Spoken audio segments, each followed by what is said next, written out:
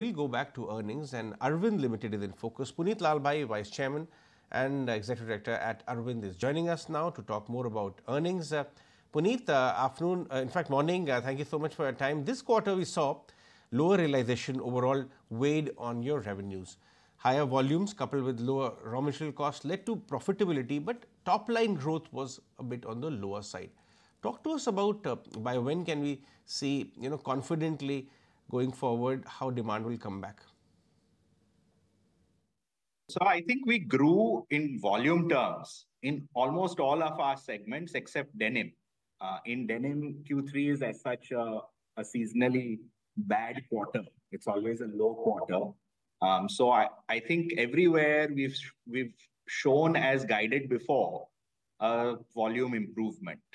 Um, as you rightly said, the revenue has been muted because of raw material prices declining. Uh, I think more significantly, we've also shown margin improvement, and that's because of better efficiency, better product mix, uh, and a lot of hard work at our end. Right. Uh, morning, um, Mr. Lalbhai, given that cotton prices seems to have stabilized on the lower side, does that mean that your margins could expand? Any kind of guidance that you can share? So over the medium term, definitely we feel that there is a lot more work to do to get a few hundred, couple of hundred basis points of, of margin improvement. In the short term, however, I think because cotton has reached its uh, its minimum support price, in fact, currently, uh, we don't see a lot of margin expansion now possible uh, because of further raw material price decrease. In fact, even the in previous quarters, the margin improvement has come not because of only raw material price improvements, but also because of a lot of operate, operating efficiencies being built in the business. Right, and owing to Red Sea issue, we all know that freight rates as well have shot up. Have you been able to pass it on? Any impact on your books? And also, are you facing delays at large? We did face some delays, not very significant in quarter three, but quarter four onwards, we don't expect to face too much more because the market has now had time to adjust and uh, incorporate all the longer lead times and higher costs uh, in their planning cycle. Uh, thankfully, a lot of our business is FOB business. So the freight is the customer's responsibility. There is a small amount of business which where we are responsible for freight, and yes, there uh, the higher prices will impact us. But for the large majority of the business, uh, we are on FOB terms generally. Okay, so why don't you tell us about the order book situation right now, and also how much is it coming from the AMD segment? AMD for us has is is a very strategic business where we are investing. It's a business where we've been showing very good growth and margin expansion for the last uh, couple of years. And we are going to put in every effort to ensure that we continue to grow at this 20% for the medium term as well. So all efforts are on for that. And we expect uh, this kind of growth to continue in the future as well. Punit, uh, for your garment segment, what is the kind of volume growth which we can see in Q4 and uh, how are your capacity utilization spanning?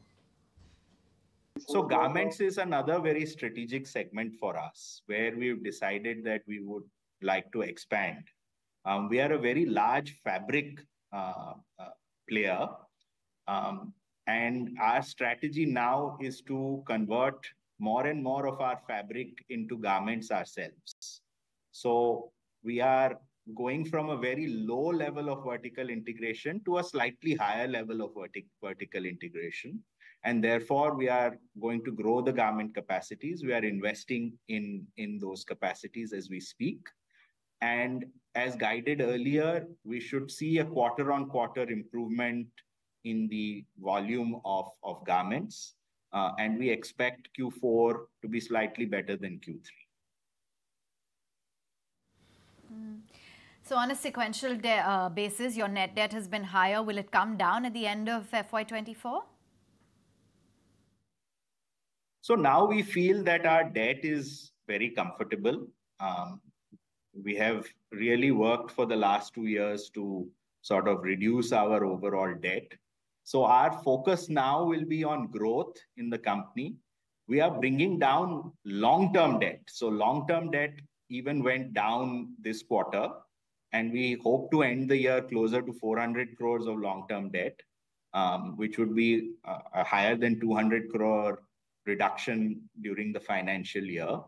Um, as business is now growing and as we are adding newer segments, our working capital debt is the debt that has gone up. And uh, we don't, be, uh, we will not be too obsessed about bringing overall net debt uh, down. We, but our position is that we want to have as little long-term debt um, as as possible. So we are focused on that, and we are um, on target to achieve uh, what we had set out at the beginning of the year. Right. Okay. Great to have you then on the show. Thanks for highlighting, uh, Punit, what the commentary has been, or rather, how the uh, you know quarter gone by has been, and what really is the future visibility.